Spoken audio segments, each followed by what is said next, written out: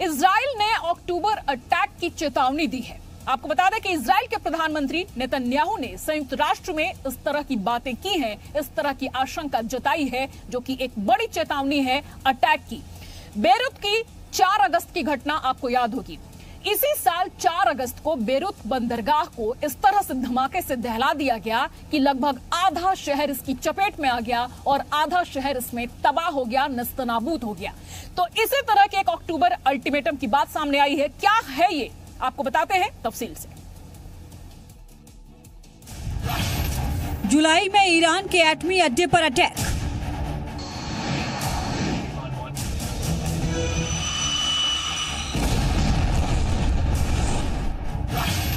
अगस्त में बेरूत के बंदरगाह पर धमाका।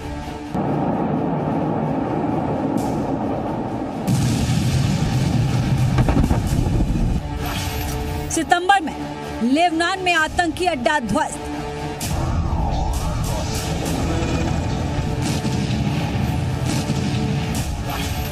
अब इजराइल का अक्टूबर अल्टीमेटम।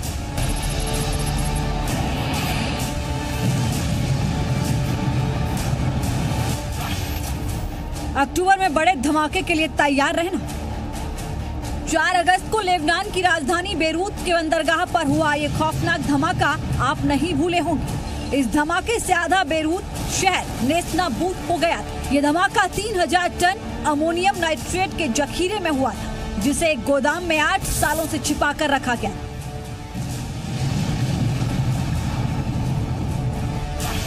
बेरूत के उस धमाके में तीन लाख लोग बेघर हो गए थे। चार हज़ार लोग घायल हुए थे और 200 से ज़्यादा जाने चली गई। उस धमाके के पीछे तब इसराइल का हाथ बताया गया था। इसराइल ने तब इस दावे को खारिज भी किया था और ये दावा भी किया था कि धमाके वाली जगह पर लेबनान के आतंकी गुट हिजबुल्लाह के हथियारों का सीक्रेट अड्डा भी था। अब इसराइल के प्रधानमंत्री बेंजामिन नेतन्याहू एक बार फिर ताल ठोक कर कह रहे हैं कि बेरूत की शहरी आबादी में हिजबुल्लाह के आतंकियों ने फिर अपने हथियारों का खुफिया गोदाम बनाया है। और उसके कारण बेरूत में फिर बड़ा धमाका हो सकता है।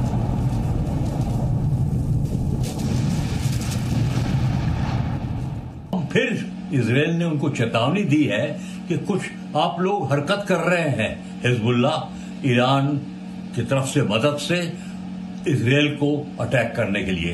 तो ये चेतावनी दी है।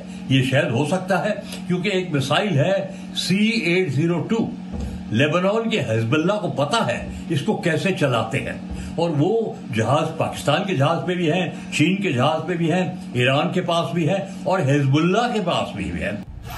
नेतन्याहू ने यह बयान कहीं इधर उधर नहीं, बल्कि यूएन में दिया ऐसे में सवाल उठ रहे हैं कि क्या बेरूत में अक्टूबर में फिर बड़ा धमाका होने वाला है? इसराइल ने बेरूत में जिस जगह पर हिजबुल्ला के आतंकियों के खुफिया गोदाम होने का ज़िक्र किया है, कहीं वो उसे ध्वस्त करने की रणनीति तो नहीं बना रहा है। इजरायली पीएम के बयान को हालाँकि आतंकी संगठन हिजबुल्ला ने खारिज कर दिया लेकिन इसराइल से पहले अमेरिका भी दावा कर चुका है कि इसराइल पर रह रहकर मिसाइल अटैक करने वाले आतंकी संगठन हिजबुल्ला ने यूरोप में भी कई देशों में जगह जगह विस्फोटकों का खुफिया गोदाम बना रखा है। इस खबर के सामने आने के बाद अमेरिका ने हिजबुल्ला गुट पर बैन लगाने के लिए अंतर्राष्ट्रीय मंचों पर दबाव बनाना शुरू कर दिया था और इसराइल ने हिजबुल्ला के ठिकानों को चुन चुन कर साफ़ करने की कसम ली। इसराइल और लेबनान में बड़ी दुश्मनी है और इस दुश्मनी से वो उन्होंने पहले भी अटैक किया है इसराइल को, लेकिन अब इसराइल ने चेतावनी दी है कि हिजबुल्ला को। और वहाँ एक आग भी लगी थी बेरूट में, सितंबर 10 तारीख को। उनका बड़ा नुकसान हो गया। उनकी इकोनॉमिक स्टेट कम है। तो जब भी भी इकोनॉमिक स्टेट कम हो जाती है, ये टेररिस्ट ऑर्गेनाइजेशन अपना सिर उठाते हैं और ईरान हिजबुल्ला की मदद करता है। यही वजह है कि यूएन में इजरायली पीएम नेतन्याहू के बयान के बाद, लेबनान में में, कई इलाकों में चौकसी बढ़ा दी गई। और डर के बीच सवाल गहरा रहे हैं कि बेरूत के लिए अक्टूबर धमाकेदार तो नहीं होने वाला है।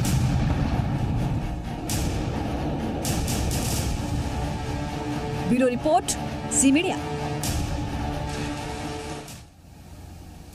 तो 2006 में हिजबुल्ला ने इसराइल से खतरनाक जंग लड़ी थी। तो क्या आगे भी इस तरह की जंग हो सकती है?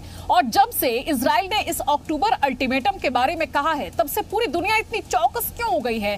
सबकी नज़रें इन पर क्यों टिकी हुई हैं? ये बड़ा सवाल है। तो साथ ही उस जंग में जिसकी हम बात करें 2006 की, इसमें हिजबुल्ला ने इसराइल पर लगातार मिसाइलें दागी थी। तो क्या इस तरह की संभावना आगे भी बन सकती है, जिस वजह से यह आशंका जताई जा रही है? तो हिजबुल्ला अपने हथियार विस्फोटकों का खुफिया गोदाम आबादी वाले इलाके में बनाता है और ये बनाने के पीछे उसका मकसद क्या होता है? मकसद होता है कि उस पर सीधा सीधा कोई वार ना कर सके।